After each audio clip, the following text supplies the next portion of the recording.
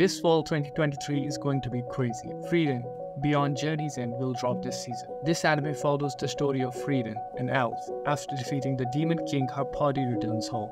Eventually disbanding and reminiscing about their decades-old journey, Frieren, with her different perception of time as an elf, witnesses her companions slowly passing away one by one. This anime delves into the struggle of morality, exploring themes of time, friendship, and the significance of living life to the fullest.